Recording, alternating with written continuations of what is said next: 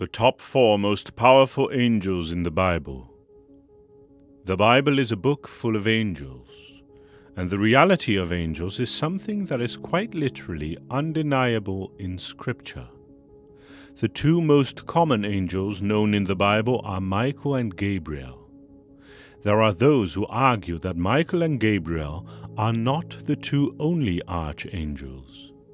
This argument is based on the fact that in the Apocrypha works you will find other angels which are referred to as archangels, such as Raphael, Uriel, Seraquel, Raguel, and Remiel.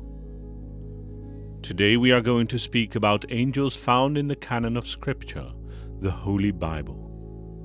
Now, this list of the four most powerful angels includes good angels and bad angels. Number one, the fallen one, Lucifer.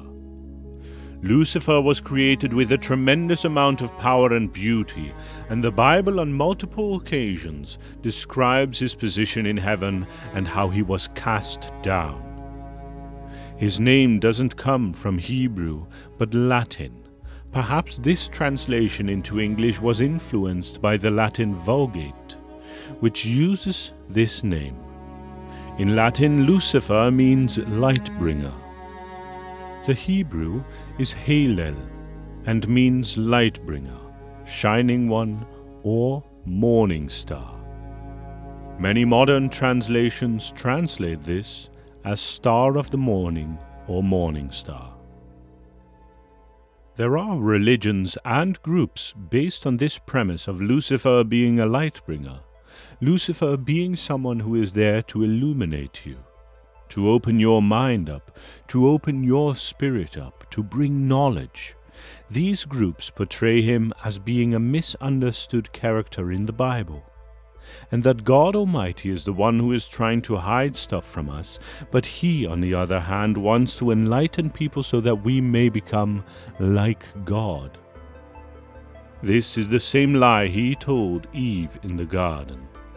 Genesis 3 verse 5 For God knows that in the day you eat from it, your eyes will be opened, and you will be like God, knowing good and evil. I am not saying this in order to exalt Satan or uplift him in any way, shape, or form. However, he is a powerful being that should not be taken lightly. He was able to take Jesus on a mountain top and offer him all the kingdoms of this world. If Jesus would worship him, that is power. If he did not have power over the kingdoms of this world, he would not have been able to offer that to Jesus. Lucifer is a powerful being. He is not someone who you can just treat anyhow. Now let us look at his fall. Isaiah 14, verse 12 to 15 How art thou fallen from heaven, O Lucifer, son of the morning! How art thou cut down to the ground, which didst weaken the nations! For thou hast said in thine heart, I will ascend into heaven, I will exalt my throne above the stars of God, I will sit also upon the mount of the congregation in the sides of the north. I will ascend above the heights of the clouds. I will be like the Most High. Yet thou shalt be brought down to hell, to the sides of the pit. Ezekiel 28, verse 14 and 15 Thou art the anointed cherub that covereth, and I have set thee so. Thou wast upon the holy mountain of God, thou hast walketh up and down in the midst of the stones of fire. Thou wast perfect in thy ways from the day that thou wast created, till iniquity was found in thee. Despite Satan's desire to exalt himself, he will not be exalted at all. Certainly, there is a sense in which he is exalted right now, but this is but a blink in the scope of eternity. Satan, like all those who desire to exalt themselves, shall be brought down.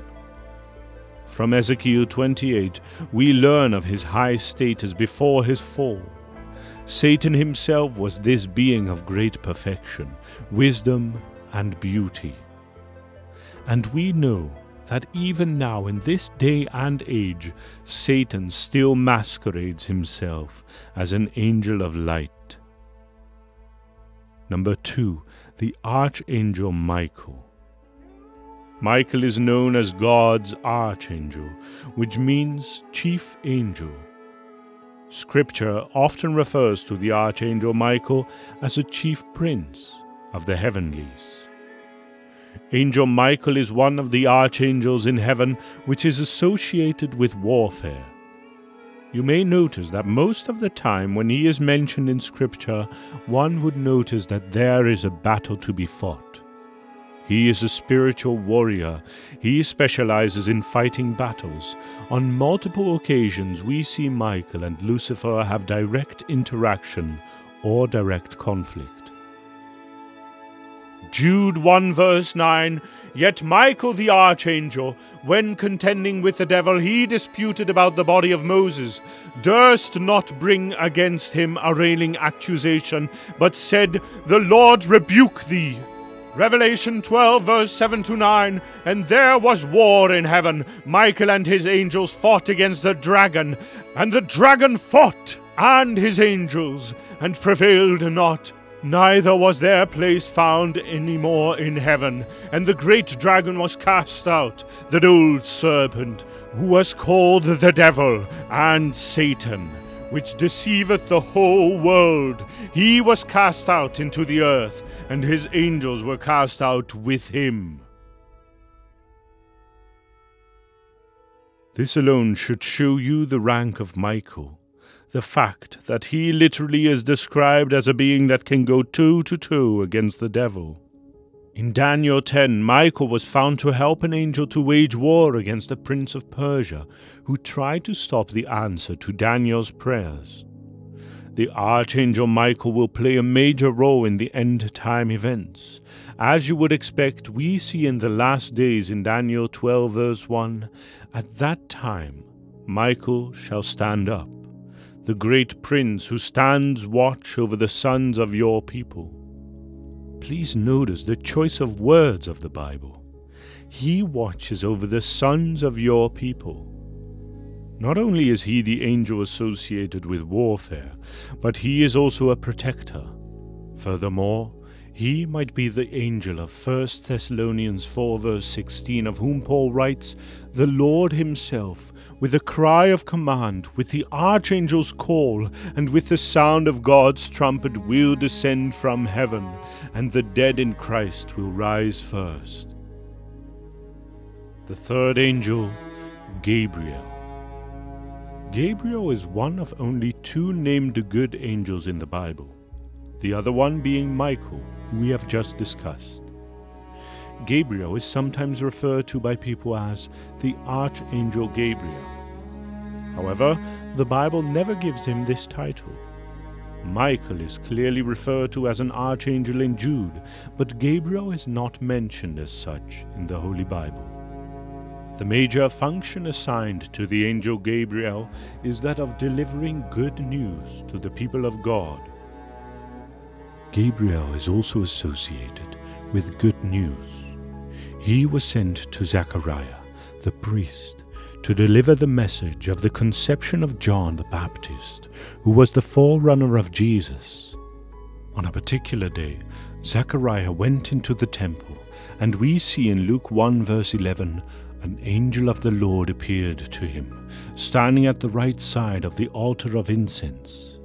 This angel was Gabriel Gabriel gave Zechariah the news that his wife, Elizabeth, would bear a son. This news was strange to Zechariah, as he said to the angel in verse 18. Zechariah said to the angel, What proof is there for this? I am an old man, and my wife is beyond her childbearing years. The angel answered him, I'm Gabriel I stand in God's presence. God sent me to tell you this good news. But because you didn't believe what I said, you will be unable to talk until the day this happens. Everything will come true at the right time. I want you to focus on this one phrase that Gabriel said I'm Gabriel. I stand in God's presence. He is an angel who stands in the very presence of the Lord. Gabriel reminds Zechariah of who he is and where he has come from. Also, Gabriel was sent to Mary, who became the mother of Jesus in Luke 1, verse 28, with the following words And the angel came in unto her, and said, Hail, thou that art highly favoured, the Lord is with thee. Blessed art thou among women, and behold, thou shalt conceive in thy womb and bring forth a son, and shalt call his name Jesus. It was also Gabriel that appeared to Joseph, the fiancé of Mary in Luke 1 verse 26, to appeal to him to not leave Mary, because her conception was of the Holy Spirit because each time Gabriel appears in the Bible, he is giving good news to people. Society has painted him to be a cute, flowery little messenger boy that resembles Cupid. This is completely incorrect. When Gabriel appeared to Zechariah and Mary and Daniel, all three were stricken with awe and gripped with fear. Luke 1 verse 12 When Zechariah saw him, he was troubled, and fear fell upon him. And Mary in Luke 1 verse 29, when she saw him, she was troubled at his saying, and considered what manner of greeting this was. Daniel says in Daniel 8 verse 17, So he came near where I stood, and when he came, I was afraid and fell on my face. He had to reassure each of them before continuing with his messages. Number 4. Abaddon, Apollyon. Revelation 9, verse 11 And they had a king over them, which is the angel of the bottomless pit, whose name in the Hebrew tongue is Abaddon, but in the Greek tongue hath his name Apollyon. The angel in charge of the locusts from the bottomless pit is Abaddon, Although Satan has gone by many names, Apollyon is not one of them. Abaddon appears to be a demon who works under him, who rules an abyss full of locusts that will arrive on stage during the final days.